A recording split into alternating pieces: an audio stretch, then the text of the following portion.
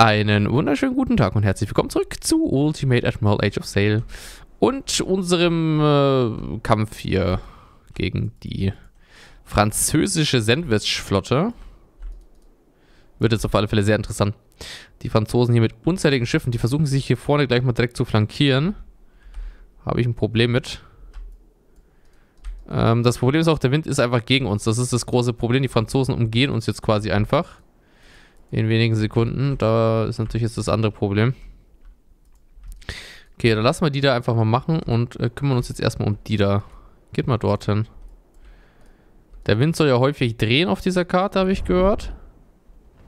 Hoffen wir mal, dass sie recht behalten mit dieser Aussage. Genau, und ihr nehmt euch dann gleich mal hier diesen äh, Schuften da an. Die fahren jetzt natürlich hier alle aufs offene Meer raus. Wird auf alle Fälle schon fett geballert. Und wir möchten eigentlich möglichst wenig Schiffe verlieren. Jawohl, schon mal schön schießen hier. Schön auf die Gloire. Oder wie das Ding da heißt. Die Carolina ist auch da. Natürlich ein amerikanisches Schiff. Was ist das hier, wenn es fertig wird? Hallo? Lass das die Ochsen. Genau. Oh, das gibt Oh, das gibt gleich so eine fette Breitseite, ne? Das gibt gleich so eine fette Breitseite. Linienschiff gegen Linienschiff gibt es jetzt hier gleich. Eieiei. Nein, und mein Linienschiff hat gerade geschossen. Könnte kurz eine Komplettwendung machen. Komplettwendung, Komplettwendung. Ah, ah, ah. die wird schon fett ausgeteilt überall. Ah. Okay, die wollen mich einkesseln. Dreckigen Hundesöhne. Ihr dürft übrigens gerne weiterfahren, ne? Müsst ihr nicht so stehen bleiben. Oder so. Genau, ballert denen da auch mal was rein. Wo sind meine anderen Schiffe? Du hast meine anderen Schiffe? Die Caroline hat schon mal richtig fett eingesteckt. Das ist super. Man könnte natürlich versuchen, die Säge zu zerstören, aber man könnte es auch einfach sein lassen und versuchen, die feindlichen Schiffe zu zerstören. So, die wavern schon. Die, oh ja, jetzt hier. Leider müssen wir jetzt erstmal kurz nachladen, befürchte ich fast. Äh, könnt ihr mal aufhören, euch hier den ganzen Tag selber zu beschießen? Mal einmal kurz eine Komplettwendung reinhauen. Wir jagen den weiter hinterher. Während hier oben meine Flotte wahrscheinlich gleich komplett untergeht. Gegen diese Linienpest. Linienpesten. Weil meine eigenen Schiffe wieder so kreuzdämlich sind und sich hier gegenseitig rammen. So, einmal kurz trennen. Ich mache jetzt eh wieder eine Friendly Fire gerade. Ja, die HMS Terrible. Bei der schaut es gerade terrible aus. Oh, das ist das Segelwerk von meiner... Oh, die HMS Romney ist tot. Ah, die hat eine komplette Breitseite abbekommen. Ja, das war's. Jetzt haben wir zum Glück auch einige Linienschiffe, ne? Sonst wird es ja wieder richtig scheiße ausschauen. Die HMS Terrible. Leute, ihr steht da richtig scheiße, ne? Äh, HMS Romney, ihr könnt da mal kurz auf die Dolphin mit drauf. Ja, genau, ihr könnt doch mal auf die da schießen, vielleicht. Kommandant Chapman Beaver wurde getötet. Na, möge er in Frieden ruhen. Okay, das Ding muss jetzt erstmal wenden. Wie schaut es eigentlich hier drüben aus gerade? Sehr gut, das Schiff sinkt. Die sind auch generell sehr unbegeistert alle hier. Ich kenne eine generelle Unbegeisterung bei den äh, Schiffen der französischen Flotte hier in diesem Bereich. Also wenn wir hier oben auf die Schnauze kriegen, bekommen die unten auf die Schnauze. Das ist so eine Win-Win-Situation gerade. Oh, die Pearl ist auch am Arsch. Ah, diese Linienschiffe sind halt echt... Oh, die Terrible hat auch schon surrendert. Scheiße. Eieiei. Einmal kurz Komplettwendung und dann äh, versuchen zu den anderen Schiffen zu, zu gelangen. As fast as possible. Ah, das ist natürlich nicht ganz so gelaufen, wie ich es mir vorgestellt hätte. Müssen wir nicht drüber diskutieren. Wir versuchen uns mit unserer anderen Flotte zusammenzutun. Die hat hier sehr gut, sehr gute Arbeit geleistet. Einige hohe Verluste auf feindlicher Seite. Während wir unten dann dafür natürlich harte Verluste erlitten haben. Aber das kriegen wir, das ist nicht weiter schlimm. So, die Resul, Resul, Reshul, oder wie das Ding da heißt, keine Ahnung. Das ballern wir mal hart weg. Kann er das entern hier, das? Die Lutin? Nee, leider nicht. Wer auf zu Kugel. Hä, aber warte mal. Geht mal auf das Schiff drauf. Ah, jede Menge Schiffe der Franzosen ergeben sich. Sehr nice. Einmal kurz vielleicht ein bisschen diagonal fahren und dann versuchen der, der Nymphe da eins reinzuhauen. Das wäre sehr nice. Ah, die brennen übrigens. Das Linienschiff brennt da drüben von denen. Hier geht mal auch bitte auf die Terrible. Wir holen uns die Terrible wieder zurück. So, das Schiff sinkt. Wir werden jetzt... Ah, unsere eigenen Schiffe schießen wieder mit. Heieiei. Also hier haben wir wirklich komplett aufgeräumt.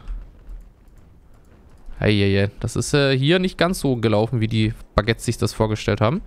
Als ich sie in den Ofen geschoben habe. Was ist das jetzt hier? Hört auf, mich zu schießen. Nicht meine Friendship.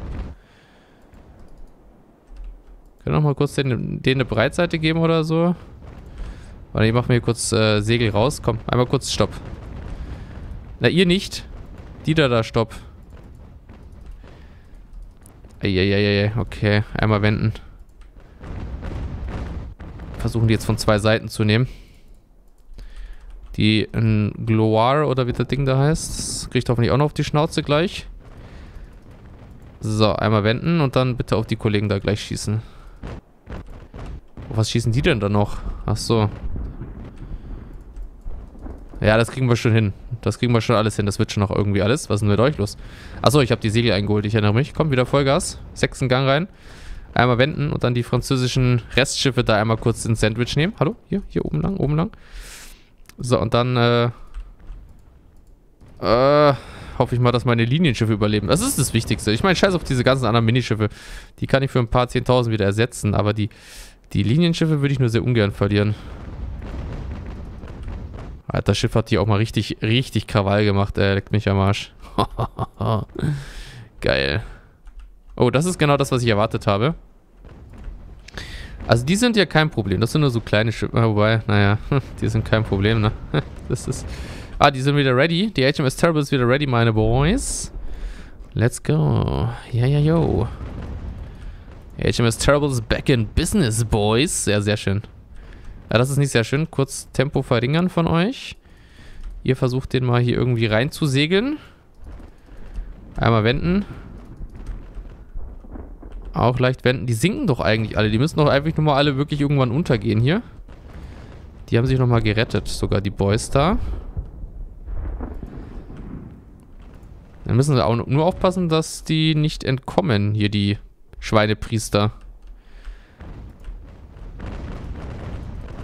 Okay, ich habe gerade den Überblick verloren. Ich weiß nur, dass meine HMS Friendship hoffentlich lieber nicht untergeht, weil sonst bin ich pissed, wenn die meine Friendship versenken. Dann gibt's richtig Krawall, dann, dann lösche ich das Spiel oder so.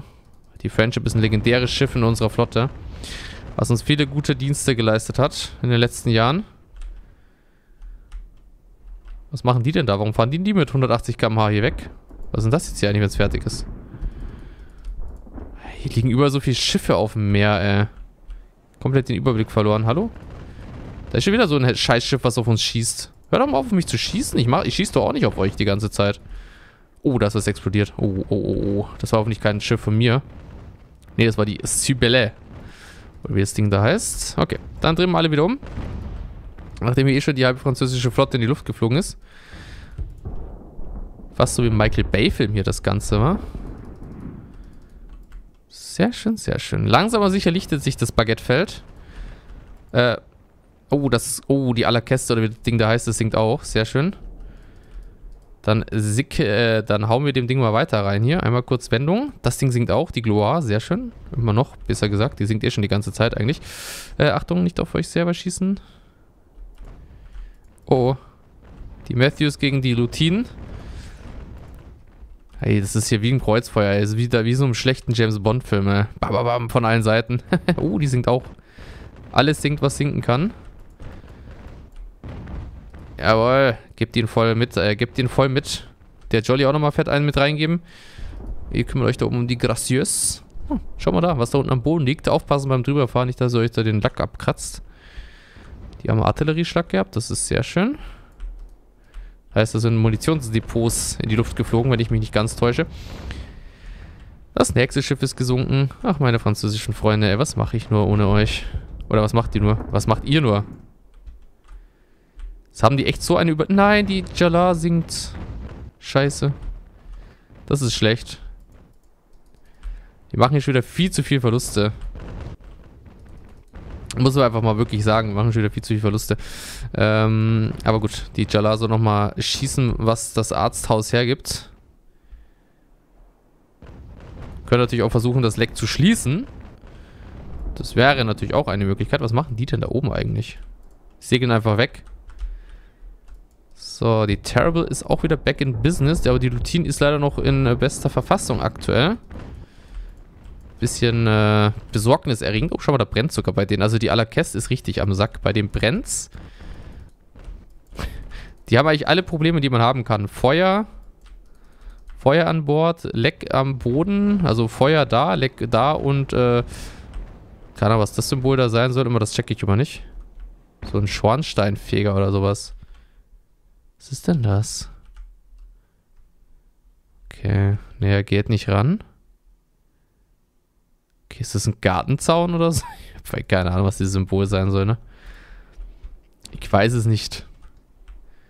Jedenfalls weiß ich, dass die Lutin das letzte große Problem bleibt. Und solange ich die Lutin nicht weg ein bisschen loswerde.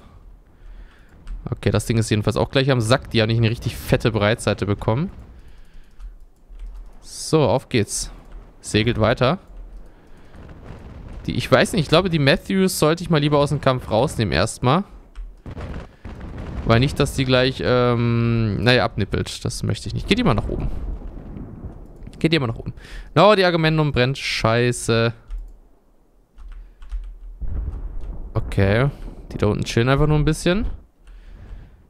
So. Ich meine, die löschen das Feuer ja meistens nach einer Weile. Okay, haben sie gelöscht. Sehr schön. Dann auch wieder in den Kampf. Die Terrible kämpft auch noch. Also die Terrible ist auf alle Fälle so richtig on fire. Kann man wirklich sagen. Da doch noch irgendwo Schiffe. Na, die sinken immer noch. Was brennt denn da hinten noch? Feindliche Schiffe, okay. Ähm, kurz folgendes. Mal alle bitte die Terrible unterstützen. Wir versuchen die... Was? Wasserstumpf ist gebrochen? Wasserpumpe ist gebrochen? Haben die da Wasserpumpen drin? Um das Wasser rauszupumpen? Ich dachte, das sind so kleine Afri äh, so Menschen, meinte ich. So, die H... Okay, jetzt dachte ich schon ganz kurz. Was ist eigentlich mit der Terrible passiert? Die war doch mal am Sinken, oder nicht? Nee, das war nicht die Terrible. Das war ein anderes Schiff. Die Jalar. Haben die das Loch wieder... Nee, haben sie nicht. Das ist immer noch am Sack, das Schiff. Ähm, ja, ja. Ihr dürft übrigens gerne mal abhauen eigentlich. War das der Plan mal? Genau, lasst euch von allen Seiten geben. Das ist sehr nice. Schau mal, dass wir das Schiff da oben noch schnell wegmachen. Ah, da unten sind leider auch noch Schiffe. Also eins vor allem. Schicken wir die da unten hin. So, solange das Ding noch irgendwie treiben kann, soll es treiben. Während die Lutine jetzt wirklich von allen Seiten richtig hart rangenommen wird. Okay, das Schiff ist auch weg. Müsste man eigentlich nur noch dieses Schiff da zerstören und dieses Schiff. Das Schiff da sinkt eh gleich, das hier. Die Lutine hat sich ergeben, das ist hervorragend. Das heißt nämlich, wenn wir das hier rechtzeitig vorbeikriegen, zu Ende kriegen, könnten wir die Lutine sogar noch für uns übernehmen. Wenn wir Glück haben. Okay, Jala segelt nach dort unten. Und ihr kümmert euch hier bitte um die Issel. Und gucken wir, dass wir nochmal das ein oder andere Schiff hier gleich gefangen nehmen noch. Macht das Schiff hier weg, komm. Wie sie alle dorthin segeln, als ob die sich irgendwas davon erhoffen. Könnt ihr das bitte wegmachen? Bevor die Terrible sinkt. Fände ich sehr nice, jawohl. Ballert die weg, komm. Von der Seite auch noch. Und dann, wenn die irgendwann sinken... Hallo? Das Schiff ist komplett am Arsch, aber sinkt nicht. Das ist doch jetzt nicht schon wieder euer Ernst, oder? Nein, da ist auch noch ein Schiff. Ach, verdammt, das habe ich wieder ganz vergessen. Okay, die Jala sinkt aber nicht mehr. Interesting. Nur noch die Tra Terrible sinkt. Oh, komm, jag den kurz ein, zwei Salben rein, bitte. Okay, abschließen. Oh Gott, ey. Eieiei. Jetzt hoffe ich mal, dass wir eventuell ein Schiff... Äh, okay, die Dolphin reparieren. Okay, das wird jetzt sehr teuer, das Ganze. Wir haben jetzt aktuell 148.000. Das war eine echt unnötig große Schlacht. Unglaublich ätzende, harte Schlacht war das. Die, aber immerhin meine ganzen großen Gewichte hier, meine ganzen großen Dinge haben überlebt. Das ist das Wichtigste. Der Rest ist mir wurscht. Schaut auf die kleinen Schiffe. Da zahle ich, was zahle ich da? 50.000 ist es, na nicht mal, 40.000 ist das Ding komplett wieder ausgestattet und aufgerüstet. Mehr braucht man gar nicht. Aber so ein Linienschiff zu verlieren, das wäre halt zum Beispiel wieder schweineteuer gewesen. Deswegen alles Paletti hier. In Anführungsstrichen. Die Terrible ist noch on Start. Und vor allem, wir können auch ja natürlich aktuell verbilligt sogar unsere Schiffe wieder reparieren. Dadurch, dass unsere komplette Wirtschaft aktuell darauf ausgelegt ist, uns im Krieg unter zu unterstützen. So, gucken wir jetzt da gleich mal, was wir hier erbeuten konnten. Ob wir was erbeuten konnten. Nein, konnten wir nicht. Scheiße. Ah. Mann, Mann, Mann. Nach einer solchen Leistung kann niemand mehr in Frage stellen, dass sie ihren Beitrag geleistet haben. Die Sektion des Konvois, der sie begegnet sind, ruht nun entweder auf dem Grund des Meeres oder in unseren Häfen. Leider waren andere Offiziere nicht so wachsam und große Teile der Konvois haben Frankreich erreicht. Oh, jetzt haben wir schon Grand River. Trotz unseres Sieges sind die Franzosen uns weiter strategisch überlegen. Während sie unsere Flotten ablenken, liefern sie Nahrungsmittel aus Amerika an ein hungerndes Frankreich. Sie scheinen all ihre Kriegsschiffe zurück in den Atlantik zu ziehen Während unsere gegenüberliegenden Flotten manövrierten, entdeckten unsere Schwadron die französische leichte Schwadron unter dem Kommando von Konteradmiral Pierre-Jean Van Stabel. Dies ist eine großartige Gelegenheit, die französische Flotte zu schwächen und die Initiative zurückzugewinnen. Nun denn, unsere Flotte ist repariert und ready. Ich glaube, ich habe ein Schiff verloren, leider. Okay. Okay, okay. Ja, interesting, auf alle Fälle. Da möchte man heute scheinbar alles, was bei mir Kanonen hat, testen. Wir konnten Elemente der leichten Schwadron der Franzosen, die von der Hauptgruppe isoliert waren, abfangen und unsere Schiffe haben bereits begonnen anzugreifen. Da hinten kommen wahrscheinlich dann äh, Franzosen wieder, ja. Die Franzosen halten die Linie und sie scheinen Verstärkung zu erwarten, die ihnen erlauben werden, die Oberhand zu gewinnen. Falls es sich herausstellt, dass die ganze Schwadron in der Nähe ist, haben wir ein äh, scheiß Problem. Unsere Schiffe fahren unter vollen Segeln, um sich den Kampf anzuschließen. Falls wir bedeutenden Schaden anrichten können, wird es uns künftig viel leichter fallen, die Franzosen auf dem Atlantik zu demolieren. Sehr schön, sehr schön. Dann macht ihr euch mal auf den Weg. Wir lösen jetzt erstmal die Gruppe hier auf. Und begeben uns alle auf den Weg hierhin. Ja, warte mal. Ich habe doch noch viel mehr Schiffe gehabt eigentlich, oder nicht? Mich wieder abziehen. Der Whiffy ist übrigens kein äh, Linienschiff, ne? Würde man denken, aufgrund der Größe, ist aber gar keins. Ist tatsächlich kein Linienschiff. So, da oben kommt ein... Lin ja, komm. Es ist, äh, es ist ausgeglichen, ne? Weil wir hier die ganz klare Feuerüberlegenheit. Okay, die... die ist instant am Arsch gewesen. Nur aufpassen, dass sie jetzt hier nicht abhauen oder so. Das wäre sehr uncool. Die haben einen Artillerieschlag gehabt. Sehr schön. Ja, komm. Also das Schiff ist direkt weg. Das Schiff ist... Ne, das schaut... Ja, okay. die haben mal die Luft gejagt. Also gegen zwei Linienschiffe und unsere geliebte Withby. Das legendäre Schiff mit 30 Kanonen. Das ist äh, natürlich dann, klar, das, kann, das, ist, das ist von Anfang an verloren gewesen. Die HMS Dolphin wird den gleich so eine fette Breitseite wieder einteilen hier. Komm, einmal hier schön Segel mit reinhalten. Schauen wir uns das dann nachher mal wieder hier schön in Full HD an quasi. Jawohl, ballert schön drauf. Hier, rein da in das Ding. Schaut euch an, wie das Leben runtergeht mit jedem Treffer. Da fliegen die Kanonen rein. So muss es sein. Äh, ja, fliegen eigentlich nur ins Wasser gerade. Aber ansonsten generell immer gute Treffer. Die Medus, äh, ich will nichts sagen, ich glaube, die sind am Arsch. Die sind jetzt schon halb unter Wasser. Eieiei. Man soll nicht auf Leichen schießen, hört auf. With B, meine Freunde. Ich respektiere euch und so, ihr macht einen guten Job, aber man muss nicht äh, auf Leichen treten. Aber die französische, das französische Linienschiff wird wie immer das Problem. Das schaut mir sehr gefährlich aus und sehr unentspannt. Da müssen wir ein bisschen aufpassen. Busy. Die Surveillance ist jetzt dann auch gleich Geschichte. Oh. So liegen die Schiffe beim Surfen auch immer im Wasser. Oder beim Kitesegeln oder wie man das nennt. Ja, ihr wisst, was ich meine. Also bislang minimale Verluste auf unserer Seite, maximale Verluste auf feindlicher Seite. So mag ich das doch. Ähm, jetzt tun wir uns mal kurz gruppieren oder so. Oder mal ganz kurz. Wie können wir uns denn bestmöglich gruppieren? Geht das hier irgendwie so? Na, das ist vielleicht noch eine Sache, die ich mir mal wünschen würde. Dass es hier Möglichkeiten gäbe, sich besser zu gruppieren. Das fehlt mir so ein bisschen, diese Möglichkeit. Ich kann ja quasi hier nicht irgendwie so mit meinen Einheiten. Ich kann zwar alle auswählen, aber ich kann nicht quasi hier so wählen, wie ich die hier haben möchte. Das stört mich so ein bisschen. So wie man das aus allen anderen Spielen auch kennt, dass man quasi irgendwie so eine. Ja. Eine Übersicht hat, wie die Schiffe fahren oder auch nicht.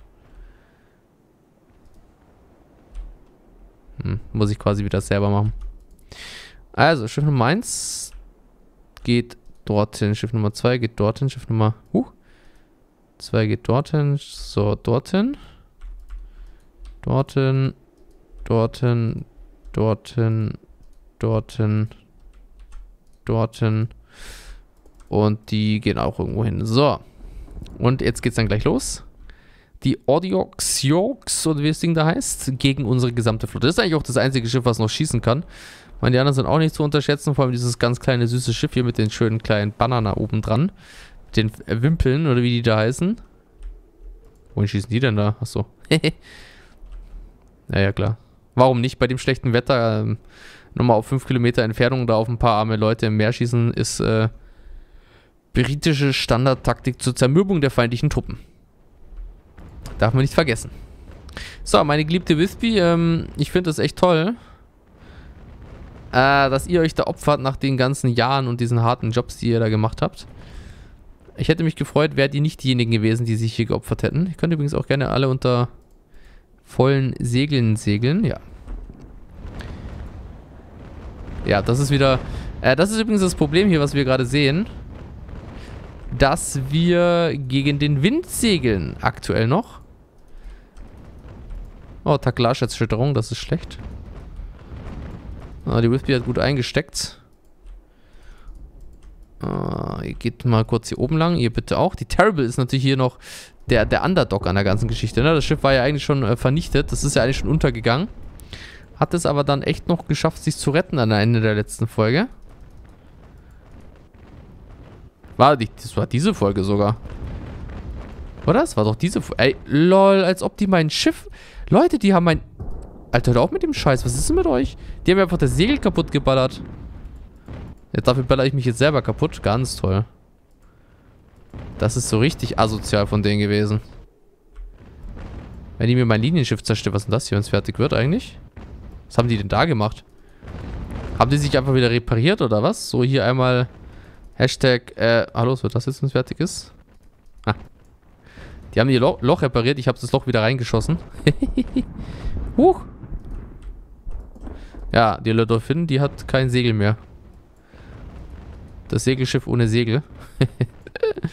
äh, wäre es nicht so traurig, wäre es schon fast wieder lustig eigentlich. Aber es ist, ist, es nicht. Ist nicht lustig. Worauf schießt ihr da noch? Auf die armen Leute da unten?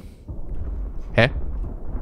Ah, meine Verstärkung trifft ein. Ah, und weitere französische Verstärkung trifft ein. Ah, meine komplette... Ah, jetzt kommen sie alle hier. Jetzt kommen sie alle. Ja, moin. Schön euch auch nochmal zu sehen, meine Freunde hier. Mit euch hätte ich ja gar nicht mehr gerechnet. Die Schlacht zieht sich noch ein bisschen. Aber was ich schon mal sagen kann, die Odyxyx oder wie das Ding da heißt, das ist am Sack, das Ding. Das macht nichts mehr. Das Ding schaut ein bisschen aus wie so ein, ah, wie diese Spielzeugschiffe damals, die auch in der Mitte immer hohl waren.